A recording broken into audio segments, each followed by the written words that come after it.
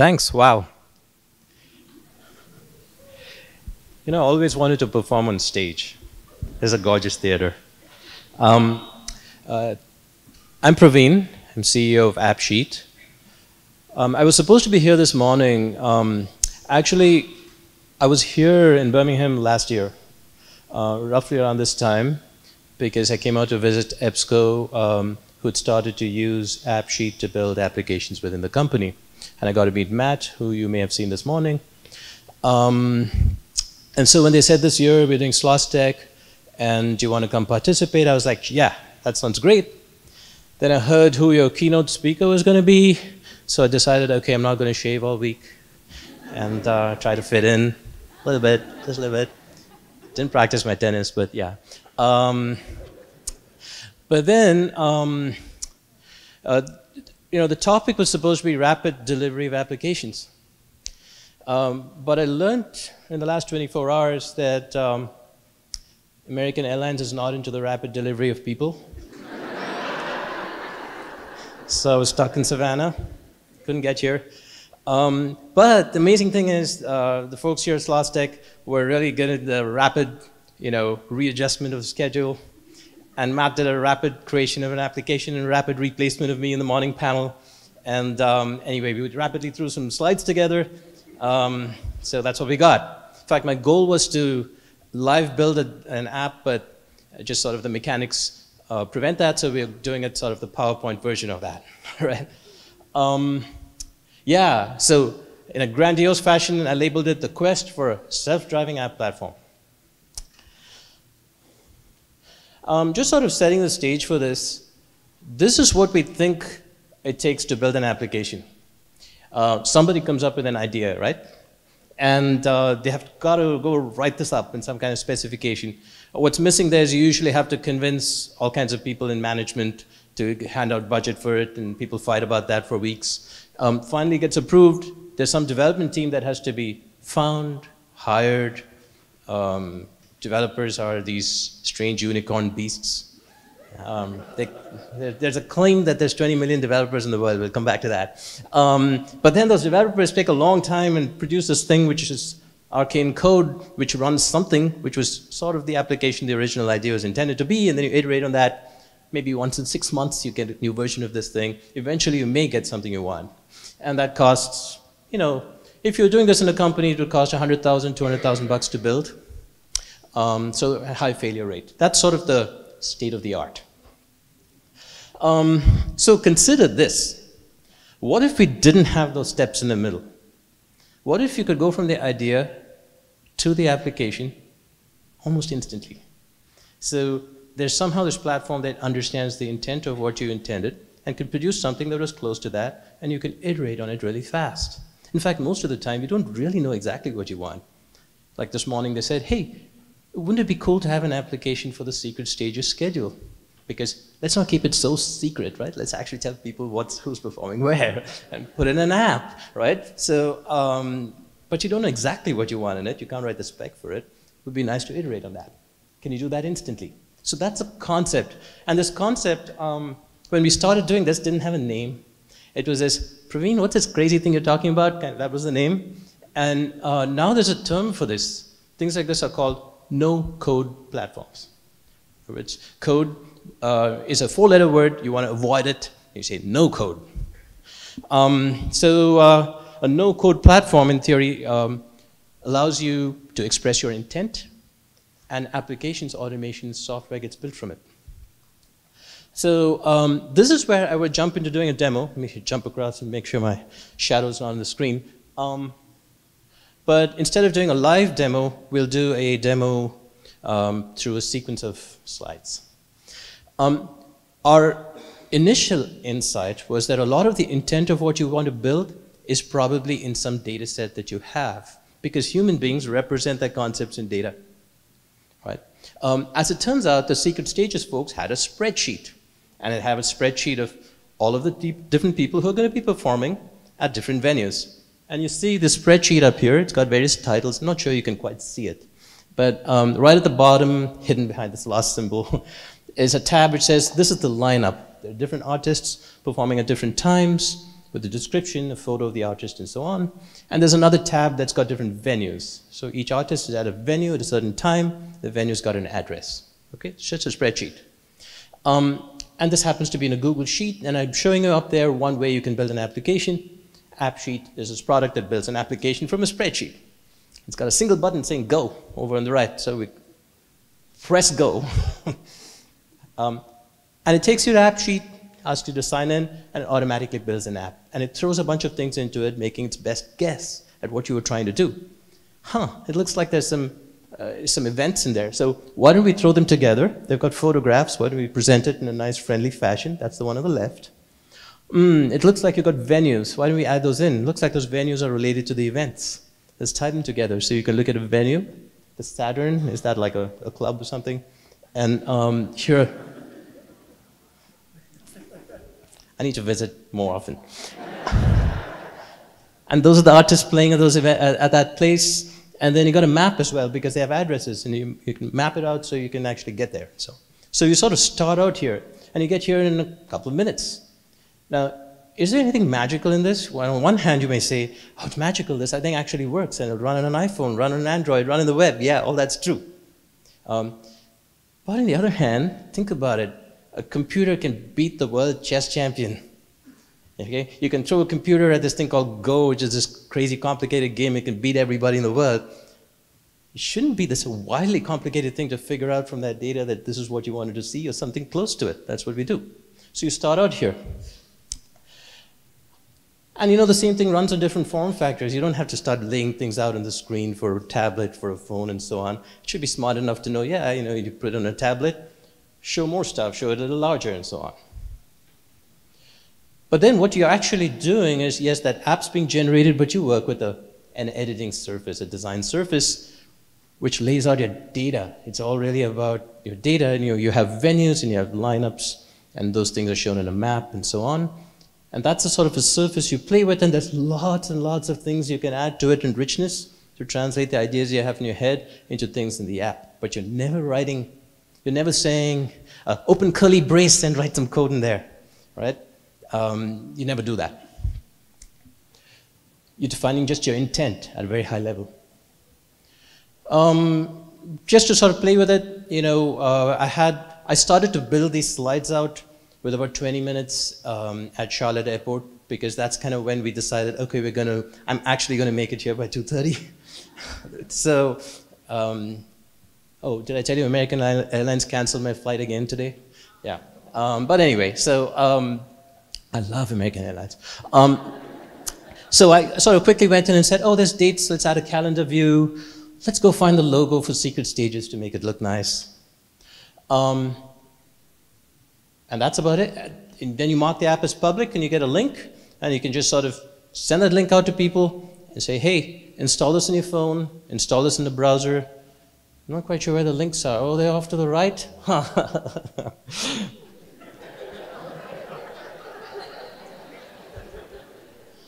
Blame that on PowerPoint, actually. Um, so we'll have to actually tell, I, am not sure if um, somebody can post this, somebody's going to post those links on, on Twitter or something, but you might want to just install the apps on your phone and give it a try. This is the simplest kind of app. There's actually nothing much to it. It's presenting the data that was in the spreadsheet all right? Uh, it just presents it in a mobile friend, in a sort of app-friendly way so you can actually work with it. Matt this morning built a slightly different version of this that also let you choose favorites, and you can build richer and richer things. Um, at the end of the day, AppSheet's not really actually about building apps for events, right? Um, you got websites, apps for events are pretty easy. Um, oh yeah, that's sort of finished version, looks good. So start to finish about five to 10 minutes, all right? So in, um, let me do the math. I was sitting in Savannah Airport for six hours, and six, so that would have been about 36 apps I could have built in that period of time. Each app costs about, uh, what did I say, about 100,000 bucks, and it's what it takes to, cost, to build an app? Okay. Um, 3.6 million, something like that. Um, interesting question is, what I showed you right now is actually just a sort of a, um, I described this to somebody recently. Um, do you guys remember when Netflix would mail DVDs? Right? So It used to be you had to go to the theater. Then it used to be that there's Blockbuster and Netflix. I'm just reflecting my age. Um, but Netflix would mail DVDs. It's better, nice, but there's still some friction, right? You had to wait a day for it to show up. I showed you building an app in five to 10 minutes. That's just the stage of Netflix shipping DVDs, by analogy, right? What's coming at some point soon is that you should just be able to describe your app in English, what you wanted to do, right? If you can describe what you wanted to do, that's where the value is. The value of apps, automations, and so on is the idea it's not in the translation of it into grungy code. In fact, you do not want to be writing code again and again. It's just, you know, every 20 lines of code has a bug in it. Do you guys know this rule of thumb? Uh, any developers in the audience? Software engineers? Good, there are none. Oh, just a couple. I got the right audience. This talk is for you. Right, right. Um, we'll come back to this, this, this particular topic because uh, did I mention that software engineers are like these mythical unicorn beasts? There may be one or two hiding in the crowd, but that's about it. So, uh, like I was saying, AppSheet is not primarily for consumer-facing apps, event schedules, that sort of thing. What we've discovered is those things are sort of dime a dozen, but actually there's a lot of folks in businesses who want to use applications to automate things. Um, anything that drives productivity in a business tends to be um, uh, something that can actually benefit. Um, there's a lot of folks, it's amazing, uh, in our personal lives we use these consumer apps that are really powerful, really elegant, um, but at work, we're sort of accustomed to work sucks, work is inefficient, work processes are terrible, I'm copying stuff from, from paper to, you know, that's sort of work life, and we're trying to sort of change that. Um, so that's kind of where, from a practical, you know, if I think as a startup founder, uh, where's your business, who are the customers, what are their needs, that's where this technology is currently gaining a lot of traction. Um, especially in situations where people can't be tied to a laptop or desktop, where they're deskless workers out in the field, um, that sort of stuff. Um, it's actually sort of in this context that we got started talking with EBSCO, as I mentioned, um, because uh, they have a variety of different businesses doing stuff in factory floor and warehouses and stuff like that. Um, but also, um, oh, it brings me back to Savannah and my unfortunate time there. But I was in Savannah because uh, we were talking to a company called Parker's, and they run a bunch of convenience stores. It was really interesting. Uh, this was just two days ago, yesterday. I spoke with the, um, they have a chief innovation officer, um, and Eric, and he said, Parker's is a technology company that happens to be in the business of doing convenience stores. And so I thought it was a wonderful explanation. I mean, we've all heard about software eating the world, but this is really about every company is a technology company. And then he said to me this interesting thing. He said, we're really excited about AppSheet because, you know, we're not in Silicon Valley. We're not sort of washing a lot of software engineers. I said, hang on a second. Why do you want all those software engineers? Um, you're awash of people who have ideas about how to make Parkers better. Right? And what you really need to do is take those ideas and translate them into software. Now, the problem has been that translating into software has been this ultra high friction thing. It's insanity that it's so high friction. And that's what we're trying to remove. And if you can get past that, then, um, you know, whether it's Birmingham, whether it's Savannah, wherever else, the world's full of smart people with smart ideas. Right? We're also restricted by the, uh, the software engineer unicorns that we've got to find and track and pay huge sums of money to. Um, this is my one sort of uh, complex slide, so uh, uh you know, humor me, please. Um, the vertical axis is this is sort of trying to show the space and opportunity uh, that sits in front of us for um, the next 15, 20 years. I mean, I say it sits in front of us, it sits in front of uh, folks using computing power to automate things in their lives. The vertical axis is who can make an application. And don't think of an app as something running on your phone. It's anything that's automated using software. The who, all right? And that's a log scale. The, at the bottom are developers. Very generously, there's estimates that there's 20 million developers in the world. Um, truth is, there's about 1 million who are good. I, hey, anybody tried hiring developers? It's almost impossible. Okay, so uh, there's about one million who are good, 20 million who can dabble, and then there's about a billion people who. Uh, there's about a billion people who are, I'd say, business users. They use PowerPoint, Excel, um, Word, right? Um, there's about actually, I said the slide said 6 billion, there's actually 7 billion more people in the world. The world population crossed 8 billion last year, or last month. All right, so that's people. And this axis is what are you trying to build? On the far left, really simple things like a web page, simple web page, Facebook page. Um, you know, a while ago that was a complicated thing to do, but now it's an easy thing to do. Over on the right is a virtual reality simulator for a Mars rover that is going to be launched to Saturn. right? Something insanely complicated over on the right. Um, and anything can be built with code. That's what the, the orange line is. If you're writing code, you can write anything, but only those, uh, those unicorns can write it over on the right. Very few people. There are these bunch of platforms that now claim they're low code. In other words, they're frameworks to make it a little easier for developers to do stuff. It's the same developers, but let's get them to do their stuff a little faster. Um, so they coined the phrase low code. Fact, you have to write less to get the same stuff done. You still have to write code, but less. All right? Um, and then what's happened is there's this whole bandwagon now. Everybody who's got anything labels themselves as low code because who wants to be high code or low code?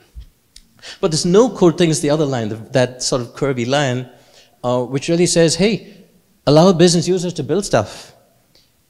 And if it's not supported so something like AppSheet, if you cannot express it in AppSheet, you're done. You don't go write code. There's no hooks to go write scripts and do other stuff. You can't. Uh, but we keep dragging that line to the right. So I just showed you a really trivial thing. But people write a rich, they define their security, they do machine learning, they do workflows, they do reporting, they do analytics. Um, they do a lot of data capture, forms, capturing video, GPS locations, logic, lots of stuff. And all that's grown over time and it keeps growing to the right. And the very interesting thing is, it also, that line also keeps going upward, which means it gets more intuitive for people to do the same thing.